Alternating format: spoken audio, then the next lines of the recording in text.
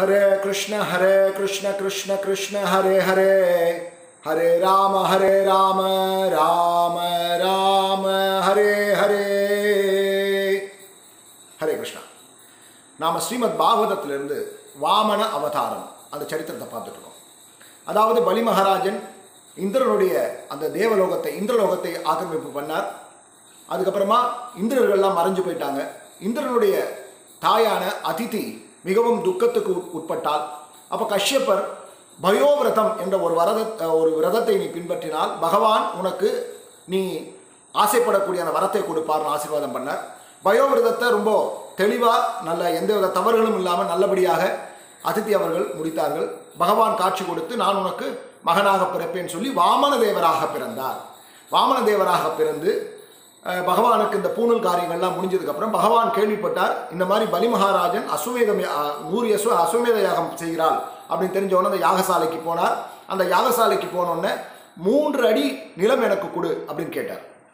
அப்போது அந்த அசுர தலைவனான பலி மகாராஜனுடைய குருநாதரான சுக்கராச்சாரியார் என்ன சொன்னார் அசுரகுரு வந்திருக்கிறது பகவான் நீ கொடுக்காத உன்னுடைய எல்லாத்தையும் அவர் பிடிச்சிருவார்.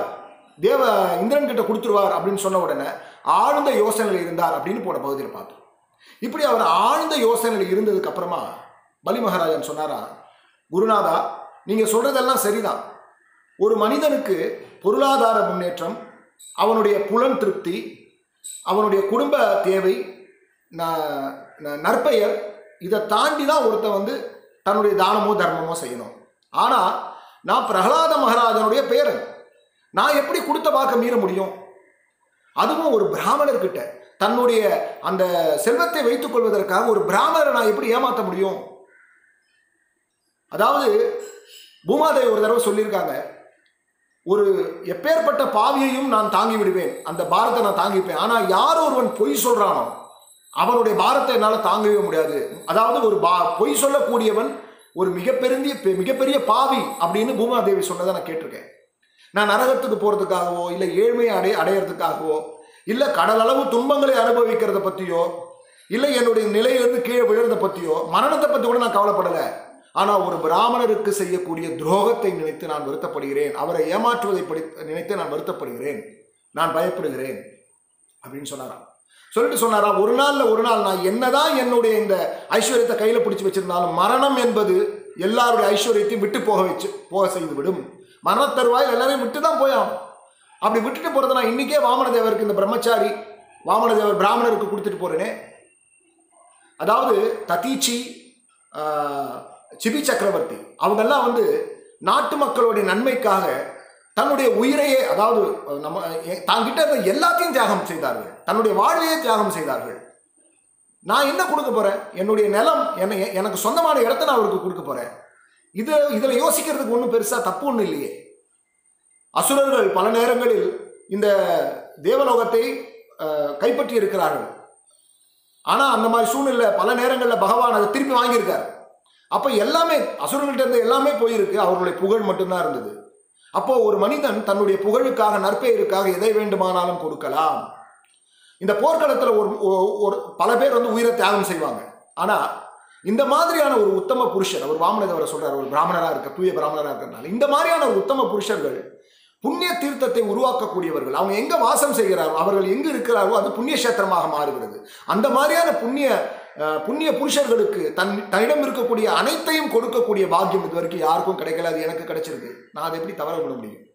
நீங்களும் ஒரு புண்ணிய புருஷர் தான். சுக்கராச்சாரியர் பார்த்து சொல்லி நீங்களும் ஒரு புண்ணிய புருஷர் தான். நீங்க பல நேரங்களில் பல தருவாயில நீங்க பகவான் விஷ்ணுவை வழிபடுறத நான் பார்த்துருக்கேன்.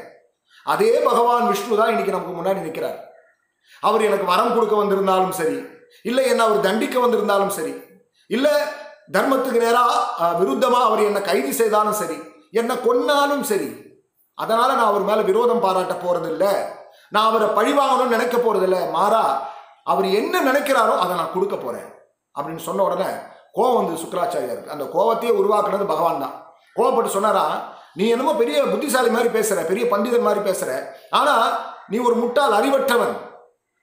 நீ வந்து இந்த மாதிரி ஒரு காரம் செய்யற இல்லையா இதனால உன்னுடைய ஐஸ்வர்யங்கள் எல்லாம் அழியும் அப்படின்னு சொல்லி ஒரு சாபத்தை கொடுத்தார்.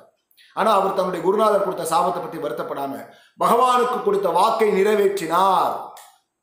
இப்போ பகவான் விஸ்வரூபம் எடுத்தார். அந்த முதல் அடியை பகவான் இது ஒரு சொர் சொர்க்கலோகத்தில் நடக்கக்கூடிய காரியம். அங்கே நர்மதா நதி கரையில் கிழ வடக்கு கரையில் நடக்குது. ஸோ அங்கேருந்து முதல் அடியை பகவான் விஸ்வரூபம் எடுத்தப்போ இந்த பலி மகாராஜாவுடைய விஸ்வரூபத்தை பார்த்தார். முதல்ல அவர் என்ன பண்ணாருன்னா அந்த பூமியை பூமியையும் பூமி கீழே இருக்கக்கூடிய எல்லா லோகங்களையும் அளந்து விட்டார். முழு எல்லாத்தையும் நிலம் செடி கொடி எல்லாத்தையும் மலை இலை எல்லாத்தையும் ஒரே அடியில் அளந்துட்டார் பகவான். அப்போ பகவானுடைய உடம்புல எல்லா தேவர்களையும் பார்த்தார். உதாரணத்துக்கு கண்களில் சூரியனாகவும் கையில் இந்திரன் எல்லா தேவர்களையும் அங்கு தரிசித்தார் பகவானுடைய விஸ்வரூபத்தில். முக்கியமாக பகவானுடைய நிழல் இருக்கு பாருங்க நிழல். அந்த நிழலில் கால கால ரூபத்தை பார்த்தார். காலம்னா மரண தெய்வன் அந்த காலம் தான் ஒரு மனுஷனை வந்து அழிக்குது. அந்த காலம் தான் எல்லாத்தையும் இந்த உலகத்தையே சூழ சூழலை செய்கிறது. அந்த காலதேவனான மரண தேவனை பகவான் நிழலில் பார்த்தார். அதனால தான் பெரியவங்கள்லாம் சொல்லுவாங்க நிழலை பார்க்காதடா நிழலை பார்க்காத ஆயுசு குறைஞ்சிரும் அப்படின்னு சொல்லுவாங்க. இந்த காலத்தில் பல பேரை சொல்றது இல்லை இந்த மாதிரி பகவானுடைய அந்த நிழலிலிருந்து மரணதேவன் வந்தனால நாம நம்ம நிழலை பார்த்தா மரணதேவனை நம்ம நம்ம நம்ம நோக்கி அழைக்கிற மாதிரி இருக்கு. அதனால தான் நிழலை பார்க்கக்கூடாது என்று பெரியவர்கள் சொல்லியிருக்கிறார். இப்படி அந்த விஸ்வரூபத்தை அவர் தரிசனம் பண்ணதுக்கு அப்புறமா பகவான் முதல் அடியில இந்த பூமியிலிருந்து எல்லாத்தையும் அளந்துட்டார் ரெண்டாவது அடியாக அவர் மேலுலகத்தை அதாவது சொர்க்கலோகத்தையும் தாண்டி அவருடைய கால்கள் இந்த ஈரேழு பதினாலு உலகங்கள்ல இருக்கிறதுலே மேல இருக்கக்கூடிய உலகம் சத்தியலோகம். அதாவது பிரம்மதேவர் இருக்கக்கூடிய உலகம். அதுதான் இந்த ஒரு ரவுண்டா இருக்கக்கூடிய பிரபஞ்சத்துல மேல இருக்கு. அந்த சத்தியலோகம் வரைக்கும் அவருடைய கால்கள் நீண்டது. இப்போ பிரம்மதேவரிலிருந்து யாரெல்லாம் அந்த சத்தியலோகத்தில் வசிக்கக்கூடிய தேவர்கள் ரிஷிகள் முனிகள் பிரஜாபதிகள் தவிர யாரெல்லாம் இங்கிருந்து புண்ணியங்கள் செய்து ஞானங்கள் அதாவது ஞான யோகம் செய்து இல்லை வந்து நிஷ்காம கர்மயோகம் செய்து அங்கே போயிருக்காங்களோ எல்லாருமே பகவானுடைய அந்த பாதத்தில் நகத்திலிருந்து வரக்கூடிய அந்த ஜோதியால் அந்த பிரம்ம தேஜஸால அவர்களுடைய ஜோதி மங்கி போயிற்று. அவர்கள் எல்லோரும் பகவானுடைய திருப்பாதத்தை வணங்கினார்கள். பிரம்மதேவன் ஒரு குடத்துல தண்ணீர் எடுத்து பகவானுடைய பாதத்திற்கு பாத பூஜை செய்தார். அந்த நீர் பகவானுடைய திருப்பாதல பட்டோன கங்கையாக மாறி கீழே வ- அஹ் கீழே வழிந்து வந்தது. இப்போ பிரம்மதேவர் அதாவது அந்த இந்த மாதிரி ஒரு காரியத்துல பகவானுக்கு உருக்கிரமர் என்ற ஒரு பெயர். நாமம் சூட்டப்பட்டது. உருக்கிரமர்னா ஒரு நடிகர் எப்படி தான் நினைக்கிற ஒரு கதாபாத்திரத்து மாதிரி உருவ உருவத்தை மாற்றிப்பாரோ அந்த மாதிரி பகவான் உருவத்தை மாற்றி கொண்டதனால் உருக்கிரமர் அப்படின்னு ஒரு பெயர் அவருக்கு கொடுக்கப்பட்டது. இப்போ அசுரர்களுக்கெல்லாம் கோபம் வந்தது. இந்த மாதிரி விஷ்ணு வந்து ஏமாத்தி தன்னுடைய தலைவரான பலி மகாராஜனுடைய ராஜ்யத்தை ரெண்டு அடியில் வாங்கிட்டாருன்னு சொன்ன உடனே இவர் வந்து கொல்றது தான் சரி நினச்சி எல்லாரும் அவங்களுடைய ஆயுதங்கள் எடுத்தாங்க. இப்படி ஆயுதங்கள் எடுத்தோன்ன பகவானுடைய சேவகர்கள் சகாக்கள் தோன்றினார்கள். யார் யாருன்னு பார்த்தீங்கன்னா நந்தர் சுனந்தர் ஜெயன் விஜயன் பிரபலன் பலன் பிரபலன் பலன் அதுக்கப்புறமா விஸ்வக்ஷேனர் கருடன் குமுதன் குமுதாக்ஷன் குமுதன் குமுதாக்ஷன் சாந்தவன் புஷ்பகந்தன் இந்த மாதிரி பகவானுக்கு சகாக்கள் நெருங்கிய சகாக்கள் இருக்காங்க. இந்த சகாக்கள் எல்லாம் தோன்றி அவர்களுடைய அந்த ஆயுதங்களை எடுத்து ஒரு காய்கறியை வெட்டி வீழ்த்துவது போல அங்கே இருக்கக்கூடிய அசுரர்கள் எல்லாம் வெட்டி வீழ்த்தினார். அப்போ பலி மகாராஜன் சொன்னாரா தயவு செஞ்சு சண்டையை நிறுத்துங்க. உங்களால வந்து பகவானை வந்து தோக்கடிக்க முடியாது. பகவானுடைய கால ரூபம் இருக்கு. அதாவது இந்த மரண மரண மரணமாக இருக்காரு பகவான் கால சக்தி அந்த சக்தியை ஒரு மனுஷனுடைய ஆட்சியாலேயோ இப்போ அந்த காலதேவன் மரணம் வந்து இந்த பூமியை வந்து ஆட்டி படைக்கும் சில சூழ்நிலைகளை நமக்கு நிறைய அனுபவம் இருக்கு. உலகமே அந்த மரண பயத்தில் இருக்கும். அந்த மரண பயத்தை ஒரு மனுஷனுடைய ஆட்சி மூலமாகவோ இல்ல மந்திரிகளுடைய உபதேசங்கள் மூலமாகவோ இல்ல மந்திர தந்திரத்தின் மூலமாகவோ ஔஷதம் அதாவது மருந்து மூலமாகவோ இல்ல மூலிகை மூலமாகவோ தடுத்து நிறுத்த முடியாது. பகவானே கருணை வச்சு இது போதும் நினைச்சு திருப்பி போனாதான் அந்த மரணம் போகும். அப்படி பகவான் கருணை வச்சு போகும்பொழுது அது தீர்மானே மக்கள் என்ன நினச்சிக்கலாம்? ஓ நம்மளோட சக்தியால் அது போயிடுச்சுன்னு நினைக்கிறான். இல்லை பகவானுடைய கருணை. பகவான் நினைக்கும் போது அந்த சக்தி வரும். பகவான் நினைத்தால் அது பின்னோக்கி சென்றுவிடும் அதனால நீங்க தயவு செஞ்சு உங்களுடைய சண்டையை நிறுத்துங்கன்னு சொன்னோடனே அசுரர்கள் பல பேர் மரணத்துக்கு உட்பட்ட காரணத்தினாலும் பலிமாறான்னு சொன்னனாலையும் அந்த சண்டையை நிறுத்திட்டு இந்த அசுரர்கள் எல்லாம் கீழுலகங்களுக்கு அவங்களுடைய லோகங்கள் கீழ் கீழுலகங்கள் அந்த கீழுலகத்துக்கு சென்று விட்டார்கள். இப்போ கருடன் நாகபாஷம் என்ற கயிறை கொண்டு பலிமகாராஜனை கைது செய்து விட்டார். கட்டிட்டார் அந்த நாகபாசத்தை வச்சு. கட்டோடனே பகவான் சொன்னாரா அசுர தேவனே அசுர தலைவனே பலிமகாராஜனே நான் முதல் அடி மூலமாக பூமியை பிடிச்சிட்டேன். இரண்டாவது அடி மூலமா சொர்க்கலோகம் வரைக்கும் எல்லாம் சத்தியலோகம் வரைக்கும் எல்லாத்தையும் பிடிச்சாச்சு. இனிமே என்னுடைய மூன்றாவது அடியை வைப்பதற்கு உன்னிடம் பொருள் இல்லை இடம் இல்லை. அதனால நீ கொடுத்த வாக்கை மீறியவனாகிவிட்டாய். நீ வந்து சொன்ன வார்த்தையை உண்மையாக கடைபிடிக்கவில்லை. அதனால நீ நரகத்துக்கு போகணும். இன்னொன்று உன்னுடைய குருநாதர் உனக்கு கொடுத்த சாபத்தினாலும் நீ நரகத்துக்கு போகணும்னு சொன்ன உடனே பலி மகாராஜன் சொன்னாராம் பகவானே நான் கொடுத்த வாக்கை மீறிட்டு தான் நீங்க நினைச்சா அந்த வாக்கை பூர்த்தி செய்யறதுக்கு நான் ஒரு முயற்சியை செய்கிறேன் அதாவது உங்களுடைய கருணையால நான் என்னுடைய தலையை உங்ககிட்ட கொடுக்குறேன். நீங்க உங்களுடைய அந்த பாதத்தை என் தலையில வச்சு நான் கொடுத்த வாக்கை மீறாம அந்த வாக்கை நிறைவேற்றியவனாக என்னை மாற்ற வேண்டும். ஏன்னா நான் ஒரு பொய்யனா இருக்க விரும்புகிறேன் நான் நரகத்துக்கு போறதுனாலயோ இல்லை உங்களுடைய தண்டனையாலேயோ இல்லை வேற எந்த என்னுடைய செ- செல்வம் போறதை பத்தி நான் கவலைப்படலை. ஆனா கொடுத்த வாக்கை மீறிவிட்டான் பொய்யனாக மாறிவிட்டான் பலிமாறான்னு சொல்ற அந்த வாக்குலேருந்து நான் பயப்படுறேன். அதாவது எங்களுக்கு இந்த இந்த அசுரர்கள் வந்து எப்படி இந்த அசுரர்களுக்கு நீங்கள் கொடுக்கக்கூடிய தண்டனை எப்படி ஒரு பெற்றோர்கள் தன்னுடைய மகனையும் சகோதரன் தன்னுடைய சகோதரனையும் வந்து அவன் நல்ல பாதைக்கு போகணும்னு சில நேரங்களில் தண்டனை கொடுப்பாங்களோ தண்டிப்பாங்களோ அந்த மாதிரி நீங்கள் எங்களை நல்ல பாதைக்கு போகணுன்றதுக்காக நீங்கள் இந்த மாதிரி ஒரு தண்டனையை கொடுக்குறீங்க. ஆனால் நான் இதை நீங்கள் கொடுத்த வரமாக ஏற்றுக்கிறேன் நீங்க என்றைக்குமே எங்களுக்கு நண்பர்களா இருக்கீங்க. எல்லாருக்கும் நீங்கள் நீங்க சமமா இருக்கீங்க. ஆனா அசுரர்களான நாங்கள் பொய் கௌரவத்தினால் உங்க மேல துவேஷத்தை காமிக்கிறோம். அந்த துவேஷத்தை காமிக்கிறனால எங்களுக்கு வரக்கூடிய அந்த தவறான விஷயத்துக்காக நீங்க சரி பண்ணணும் எங்களுடைய அறியாமை போக்கணும்னு எங்களுக்கு தண்டனையை கொடுத்து எங்களுடைய கண்களை திறந்து வைக்கிறீர்கள். அஷ்டாங்க யோகிக்கு கிடைக்கக்கூடிய ஒரு உயர்ந்த விஷயத்தை கூட நீங்க பல அசுரர்களை கொண்டு கொடுத்து கொன்றதன் காரணமாக உங்களுடைய திரு திருக்கரங்கள் பட்டதன் காரணமாக அவர்கள் உயர்ந்த லோகத்தை அடைந்திருக்கிறார்கள் உயர்ந்த கதியை அடைந்திருக்கிறார்கள். இப்படிப்பட்ட ஒரு உயர்ந்த விஷயத்தை நீங்கள் எங்களுக்காக செஞ்சுருக்கீங்க? அதனால் பகவானே நான் இந்த சூழ்நிலைக்காக வெக்கப்படலை. நான் வருத்தப்படவே இல்லை. நான் சந்தோஷப்படுறேன். சந்தோஷமா என்னுடைய தலையை உங்ககிட்ட கொடுக்குறேன். நான் உங்களுக்கு சரணாகதி அடைகிறேன். நீங்க தயவு செஞ்சு நான் கொடுத்த வாக்குறுதியை நிறைவேற்றக்கூடிய சூழ்நிலை தரணும்னு கை ஊப்பி வேண்டினார். அப்போ பிரகலாத மகாராஜன் ஒரு இருட்டில் எப்படி ஒரு சந்திரன் தோன்றினா அந்த இடம் எப்படி இருக்குமோ அந்த மாதிரி பிரகலாத மகாராஜன் வந்தார். பிரகலாத ம- மகாராஜனை பார்த்தோன்னே அவருடைய பேரான பலி மகாராஜா அவருக்கு வணக்கம் தெரிவிக்கணும்னு நினைச்சார். ஆனால் அந்த நாகபாசம் கட்டி வெறும் கையை மட்டும் கூப்பினார். பிரகலாத மகாராஜன் பகவான் அந்த சபையில் உட்கார்ந்துருக்கிறது பார்த்து பகவானுக்கு அஷ்டாங்கமாக நமஸ்காரம் செய்து சொன்னாரா? பகவானே இவர்கள் தேவர்களை வெற்றி வெற்றி பெற்றதுக்கு காரணம் நீங்க தான் உங்- உங்களுடைய அனுமதி இல்லாமல் இவங்களால வந்து சொர்க்கலோகத்தை பிடிச்சிருக்க முடியாது. இன்னைக்கு நீங்களே மறுபடியும் திருப்பி வாங்கிட்டீங்க. ஏன்னா இந்த சொர்க்க பதவி கிடைச்ச உடனே ஒரு அறியாமையில இருளை இவங்க போனாங்க.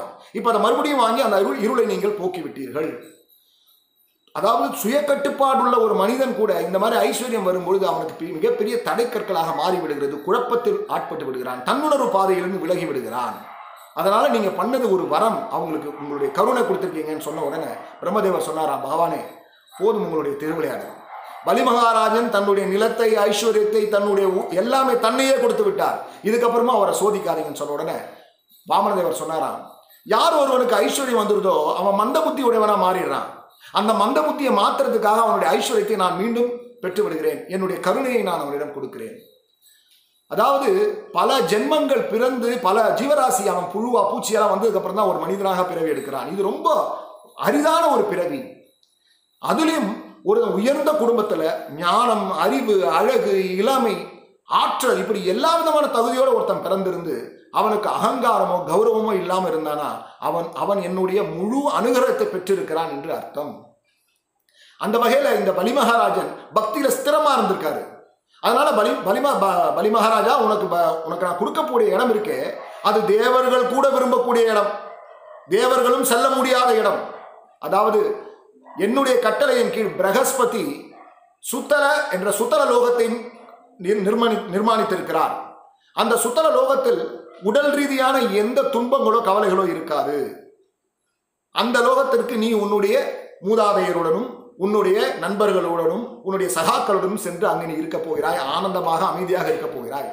அந்த லோகத்தில் நீ இருக்கும் பொழுது மற்ற கிரகத்தினுடைய அதிபதிகள் யாரும் உன்னை ஜெயிக்கவே முடியாது வெற்றி பெறவே முடியாது. அப்போ சாதாரண மனிதர்கள் பற்றி என்ன சொல்றது?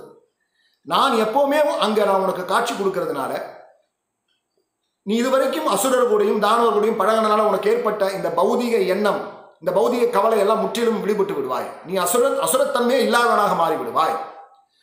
உன்னுடைய அந்த அசுரர்கள் ஒருவேளை உன்னுடைய கட்டளை மீறினாங்கன்னா என்னுடைய சுதர்சன சக்கரத்தால நான் அவர்களை அழித்து விடுவேன்.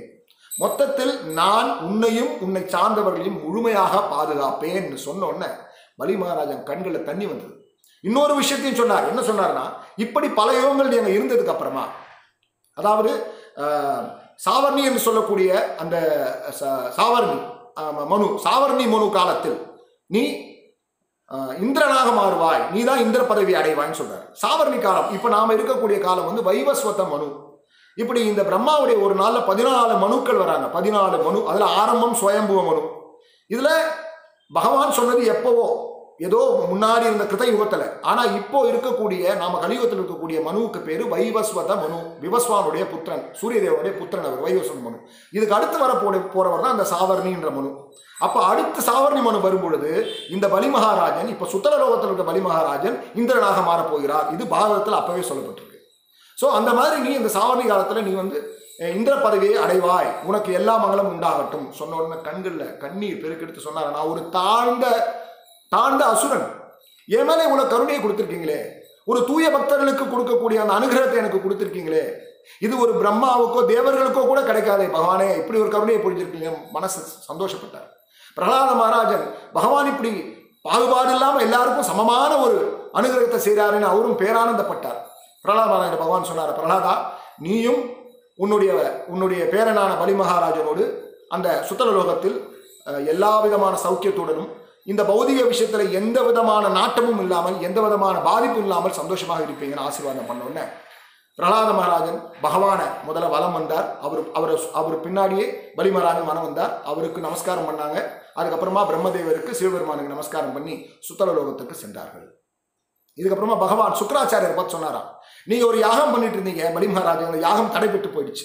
இதெல்லாம் ஏதாவது முரண்பாடுகள் ஏற்பட்டிருக்கும் அதை நீங்க சரி பண்ணணும்னு சொன்னா அவர் சொன்னாராம். பகவானே இந்த யாகம்னா என்ன? உங்களை திருப்திப்படுத்துறது தானே யாகமே. யஜ்ய மூர்த்தியே நீங்கள் தானே. யஜ்ய புருஷரே நீங்கள் தானே. இந்த யஜ்யத்துக்கான விதிமுறைகளை விதித்தவரும் நீங்கள் தானே. எல்லா வகையிலும் யாகம் உங்களை திருப்திப்படுத்துறதுக்காக தான் வேற ஒன்றும் இல்லை. நீங்கள் சொல்கிற மாதிரி சில நேரங்களில் மந்திரங்கள் சொல்கிறதுலையோ இல்லை வேத சடங்குகள்லையோ இல்லை அனுஷ்டானங்கள்லையோ சில குறைகளோ முரண்பாடுகளோ ஏற்படும். ஏன்னா அது எல்லாருக்கும் சமமாக இருக்கிறது இல்லை. காலம் நேரம் செய்யக்கூடிய நபர் அதோடைய உட் உட்பொருள் இதை பொறுத்து மாறும். ஆனால் பகவானுடைய நாமத்தை உச்சாரணம் பண்றதோ இல்லை பகவானுடைய நாம சங்கீர்த்தனை செய்யறதுலையோ எந்த குறையும் இருக்காது. அது பரிபூரணமாக தெளிவான ஒரு நன்மையை மட்டுமே கொடுக்கும். அப்படின்னு சொல்லி அவர் வந்து அந்த பரிகார காரியங்களை செய்து முடித்தார். சரி இப்படி சுக்கராச்சாரியர் அந்த காரியத்தை முடிச்சோன்ன அந்த இந்திர பதவியை பகவான் இந்திர பதவியை அவருக்கு இந்திரனுக்கு கொடுத்தார். ஆனாலும் பிரம்மா முதற்கொண்டு மற்ற தேவர்கள்லாம் இந்திரன் வந்து தலைவனாக இருந்தாலும் அந்த தலைவனுக்கும் தலைவனாக நீங்கள் இருக்க வேண்டும் என்று இந்திரனுக்கும் தலைவனாக பகவானை வாமன தேவரை கொடுத்தார். ஏன்னா பகவான் இந்திரனுடைய சகோதரர். கஷ்யப்பருக்கும் அதிதிக்கும் தானே கடைசி மகனா பன்னிரெண்டாவது ஆதித்யரா பிறந்திருக்கார். அந்த வகையில மூத்தவர் வந்து இந்திரன். இருந்தாலும் அவர் வந்து இந்திரனு இந்திரனுக்கும் தலைவராக மா அவரை வந்து ஏற்று ஏற்றுக்கொண்டார்கள். அதித்தியும் கஷ்யப்பரும் மிகுந்த மகிழ்ச்சி அடைந்தார்கள். இப்படி அவர்கள் சொர்க்க பதவியை ஆஹ், இந்திரன் அடைந்தார். இப்போ சுகதேவ கோஸ்வாமி சொல்றார் அதாவது யார் ஒருத்தர் இந்த சரித்திரத்தை கேட்கிறாங்களோ அவங்க நிச்சயம் உயர்ந்த லோகத்தை அடைவார்கள் வைகுண்ட லோகத்தை அடைவார்கள். இன்னொன்று முக்கியமான காரியம் சொல்றாரு என்னன்னா யார் ஒருத்தர் யக்யம் ஹோமம் அதாவது தேவர்களை திருப்திப்படுத்துறதுக்கு என்ன யாகம் ஹோமம் செய்கிறார் செய்கிறார்களோ அல்லது பித்ரு காரியங்கள் செய்கிறார்களோ அதாவது பித்ருவுக்கு வந்து இனி தேவசம் தர்ப்பணம் இது போன்ற காரியங்கள் செய்கிறார்களோ அதுவும் இல்லைன்னா சுபகாரியங்கள் திருமண காரியங்கள் செய்கிறார்களோ அந்த அந்த அந்த நேரத்தில் இந்த பகவானுடைய வாமன சரித்திரத்தை படித்தா அங்கே முழு மங்களமும் உண்டாகிறதுன்னு ஒரு அற்புதமான ஒரு விஷயத்தை சொல்கிறார் பகவானுடைய இந்த கதையை கேட்டனால நம்மளுடைய வாழ்க்கையும் மங்களம் நிச்சயம் உண்டு பக்தி உண்டு பகவான் மேலே சரணாகதி உண்டு. இன்னும் பகவான் பகவானை பற்றின பல சரித்திரங்கள் அற்புதமான நிகழ்வுகள் பாகவதத்தில் இருக்குது ஒவ்வொன்றா கேட்டு ரசித்து ஆழ்ந்து அனுபவிப்போம். ஹரே கிருஷ்ணன்